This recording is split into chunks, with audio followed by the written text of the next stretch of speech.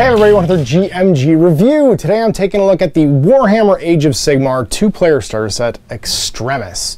Um, now, this was kindly sent to me as a free sample by Games Workshop uh, and contains two sort of like starter forces for the Orruk War Clans and Stormcast Eternals, and is much more beginner focused than the previous Dominion box that we checked out, which was, uh, if you watch my reviews and my commentary on it, it was much more of like just an army bundle with a, a hardcover rulebook in it than an actual starter set. This is a functional starter set.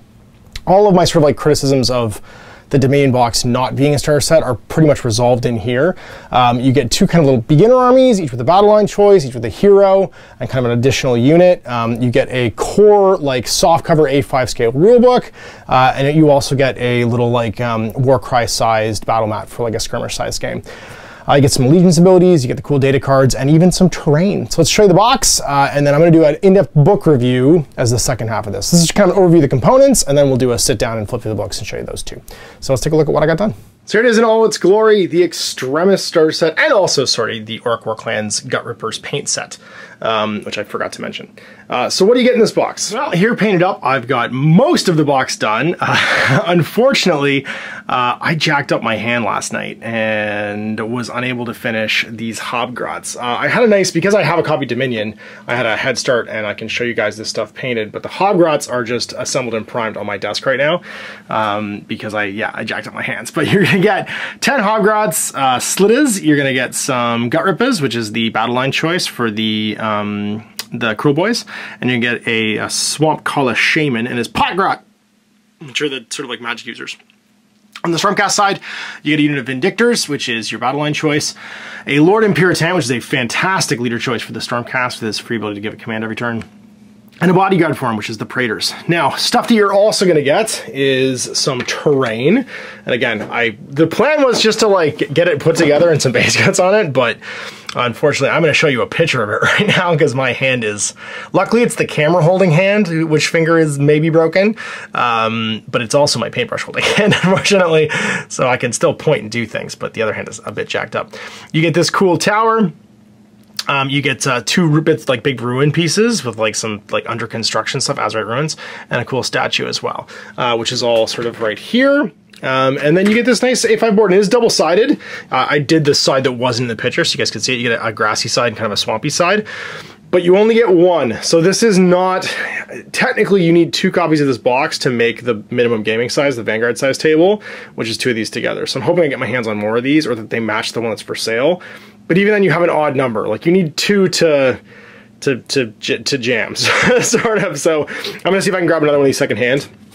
So I have a second one at least for like um, some like skirmish and less than a thousand point games.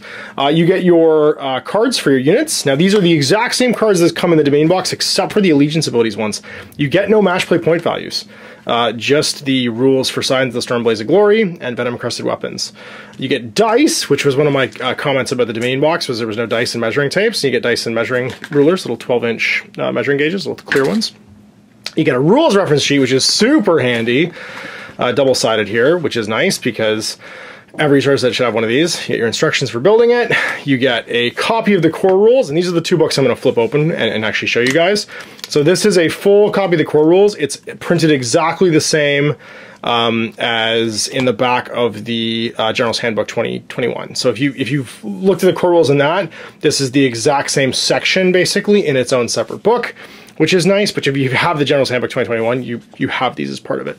And then the Extremis Edition book, which is the background sections for the Kruleboyz and Stormcast, and a bit about the universe that you're living in, and also the crusades that are happening in Ghur or Gur. Uh, and then you actually get a beginner's a start playing section too, which is again one of my comments about the um, Dominion box was it wasn't quite as beginner friendly. So there's our components um, for the box set, and it does kind of resolve all of the not being a starter set stuff. So I am I don't know for sure. Obviously, I don't have any inside information, but this is if this is the edition starter, this is more like the Soul Wars box.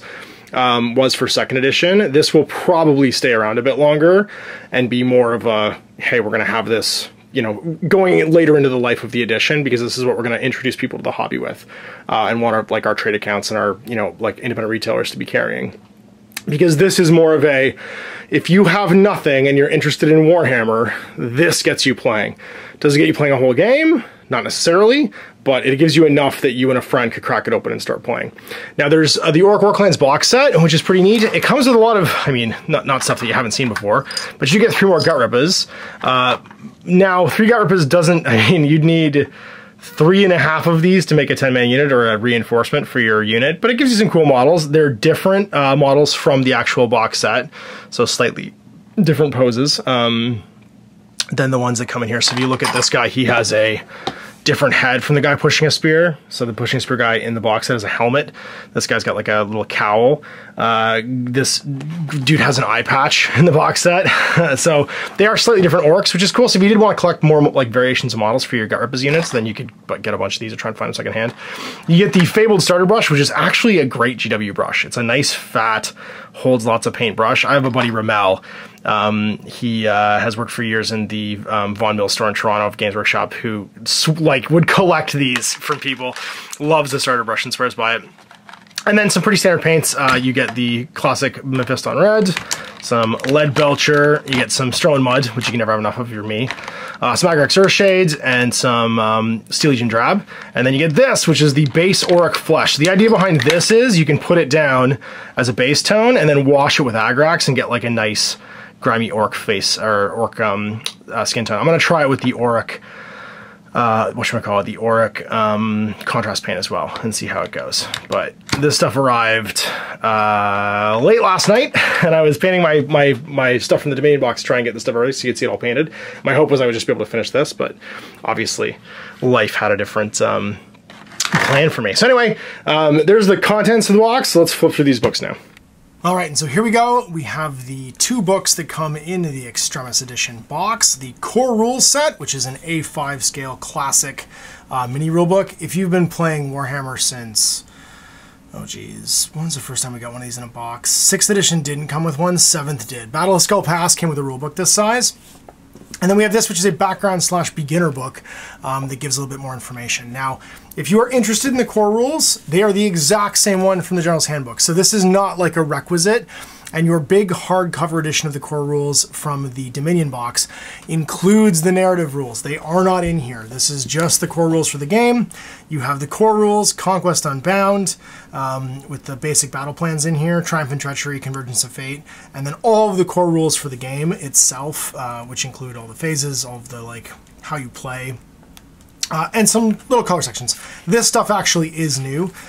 Not new completely, but it's not parsed in the core rules, I don't think, in the General's Handbook. So Ben Johnson's beautiful Sons of Behemat Army uh, and Conquest Unbound playing huge games. Siege Warfare rules are in here. Triumph and Treachery are in here. Tunnel Fighting's in here, but nothing for um, the narrative play with Path to Glory. So you, you do get a few, like, uh, scenarios, but because you don't get match play points in this box set, they're basically just giving you, like, funsies, tunnel fighting, weird rules. And an army roster in the back.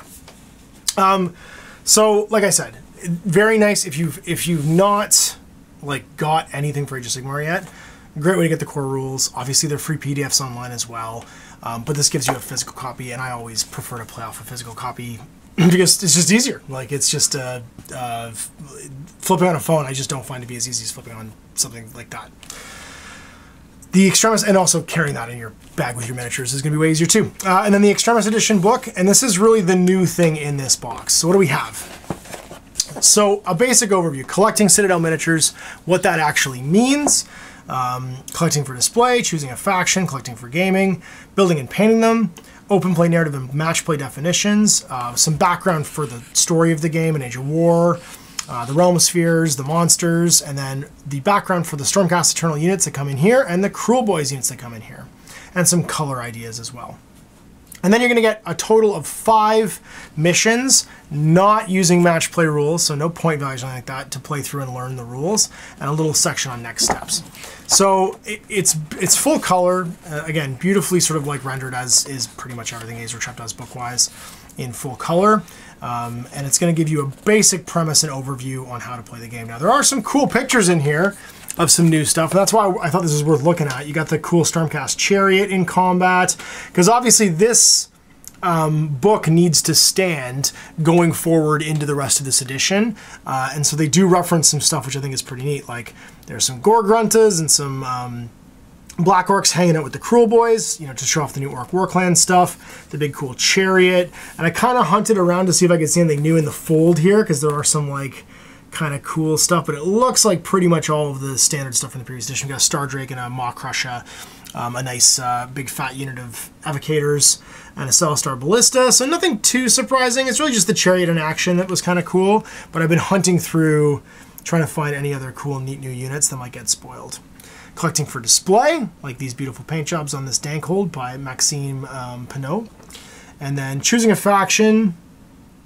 Uh, there are some kind of neat stuff in here, like some Sword and Shield Liberators. This is an older army, but you do get to see some kind of cool conversion stuff in the background here. The James Karch's uh, army, and then this beautiful Nighthaunt army too, uh, by Ben Johnson building and painting miniatures, an overview of that. It does reference the Kruleboyz, uh, which is nice because they're what came in the starter paint set and then playing a game in the different ways you can do it open play, narrative play, and match play. And once again, kind of hunting through here, trying to find cool new stuff. I haven't I haven't spotted anything apart from the chariot really that was that neat. Background of the the current events, the Dawnbringer Crusades, the different mortal realms, and the realm sphere. So if you're totally new, then it does give you like a nice kind of like backgroundy overview of where the game's at and what's happening and the Year of the Beast, because obviously this 2021 is set in um, Ghur, and of course all of the events with Kragnos being unleashed in Broken Realms. How that went down, it's kind of a, a, a nickel sort of like version of the story. And then Emerson Watches War, which is the Dominion uh, box set story. More beautiful color photos, but nothing too new model-wise and then a color section through all the stuff that comes in the box. So including the terrain, which is pretty substantial. We got some Storms of Chaos stuff, or sorry, Slaves of Darkness stuff, sorry. Facing some Stormcast. Again, all the box set stuff on display. But that one piece of new photography of the chariot I thought was cool. Over here, some Fyreslayers fighting Kruleboyz. More Stormcast versus Kruleboyz. Again, the Amberson Watch stuff, so no, no new units featured here and starting to play. So what do you need? What is a game? Uh, Battlefield game where train features defines everything that comes in the box, and then you've got some very simple scenarios. And if you look, they, they walk you through like it's a one model against two models thing, running through the attack sequence. And this is a great learn while playing, uh, tell, show, have a go sort of like um, method of learning how to play Warhammer. Battle Plan 2, High Ground, it's four models against five. And again, you're not worrying about point values. Under strength units get used a whole bunch aim and fire, so dealing with shooting and stuff. Gut Rippers versus Vindictors.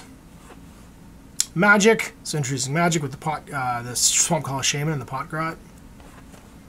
And then Hallowed Ground, using everything that was in the box. So Slittas, Gut Rippers, and the Swampcalla versus the Praetors, Vindictors, and Lord Imperatant. And playing with objectives and using command abilities. And so it slowly it, it slowly introduces all of the core rules of the game through five missions, and then you get a few extra like fun things like the siege rules and stuff in the core rules that you can play as well. And of course, the next step with all the start collecting boxes and the battle tomes. You get your pitch battle profiles not in the card but in here, so it, it's fairly balanced.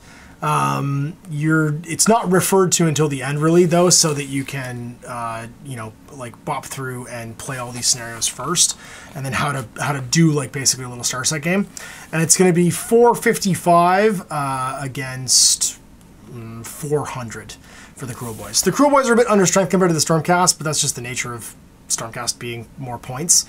Um, and you're you're gonna get a bigger Stormcast army out of this box than you are a um, Garpas, uh, not Garpas, Kruleboyz. And I think that's why it's important. It's never referenced until the end of this book or in any of the cards that you might accidentally look at, which is smart because then you don't worry about balance until you've played these five battle plans, hopefully. And after that, you graduate into the next step stuff and start thinking about playing a further game. You get a reference sheet that's the same as the reference sheets that are printed, which is kind of nice for command abilities and the uh, spells and stuff. And that's it the Extremis Edition book. So I, I think that that's there's some interesting and valuable things that are done in here. One, the layering of how you approach and learn the rules is really nice. I do wish there was a read this first sticker on here. That happens sometimes in boxes. Like, don't look at this book, look at this book first. Because I do feel like for a beginner, that's a great thing to, to have access to. If you are a veteran Games Workshop hobbyist or just wargaming hobbyist in general, though, it's probably fine just look through the core rules. Um, as I mentioned earlier in the, the review, I do think that this set kind of fills in the gaps from the Dominion starter set, and I do hope this stays in the range for a while. This is a really valuable box for independent retailers, um, for going to you know conventions and stuff like that, where people pick up new games for the first time, uh, and for Games Workshop stores looking to recruit new hobbyists. So I do think that the core two-player starter set is a is a valuable addition to any game system, and the better it's laid out and parses, you know, the zero to wargamer sort of experience, then the better that that game basically has new recruits coming in it's one of those things where a good two-player starter set can offset a lot of the feel-bad things that can happen when you first start doing the hobby. Whether you feel like your paint jobs aren't good enough, or you don't know what to collect first, or there's just this massive wall of products like Games Workshop has that are kind of unapproachable. This just gives kind of like a more goldfish in the bag going into the, the fish tank kind of experience than just being thrown in the deep end and hope that you survive. So uh, I'm glad it exists. I'm glad this came out uh, after the main box set, obviously, for like the veteran hobbyists to, I guess, augment the range, and I hope it stays in the range for a while. Uh, it's a nice starter set. It's as close as those starter set models could be, basically balance-wise. Uh, it does a good job of hiding that fact until the end when you've gotten through this whole book uh, to kind of give you a just play with your toys and learn the rules kind of experience through the five missions that come in this book. So there's my GMG review of the Warhammer Age of Sigmar uh, two-player starter set, the Extremis edition.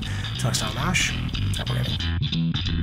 I hope you enjoyed that video. If you uh, want to support the channel, of course, like and subscribe and hit the little bell below to get notifications when I post future content. I do post stuff seven days a week. Uh, if you want to support the channel um, further, you can, of course, buy a t-shirt through Spreadshirts, um, buy a measuring gauge or objective markers from Death Ray Designs, um, or, of course, most importantly, there is Patreon. Patreon is what makes all this possible, uh, keeps the lights on, pays for the studio costs, pays for the equipment, model costs, and everything else, and most importantly, um, puts food in my kids' bellies and a roof over their heads. Uh, big thanks to everyone, past, future, who supported me. Uh, I do this stuff because of you guys, and of course, I will continue doing it as long as I can.